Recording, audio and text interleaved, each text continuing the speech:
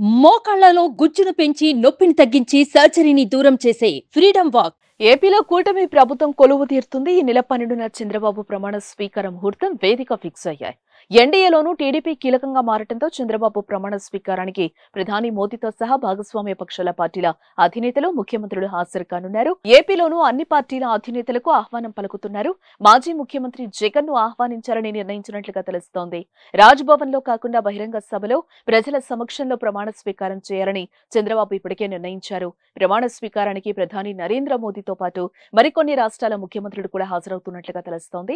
ప్రజలు కూడా భారీ సంఖ్యలో హాజరయ్యే అవకాశం ఉంది. దీంతో కేసరపల్లి వద్ద ఉన్న మైదానం జాతీయ రహదారి పక్కనుంది. విమానాశ్రయం నుంచి అతి దగ్గరగా ఉండడంతో వీఐపీల రాకపోకలకు అనువుగా ఉంటుందని అక్కడ ఖరారు చేసినట్లుగా తెలుస్తోంది. ఈ నెల పన్నెండున బుధవారం ఉదయం పదకొండు గంటల ఇరవై ఏడు నిమిషాలకు చంద్రబాబు ప్రమాణ స్వీకారం ఉంటుందని టీడీపీ వర్గాలు తెలిపాయి. మాజీ ముఖ్యమంత్రి జగన్ ఆహ్వానిస్తామని పార్టీ నేతలు చెప్తున్నారు. అయితే జగన్ ఈ కార్యక్రమానికి హాజరవుతారా? లేదా అనేది చూడాల్సి ఉంది.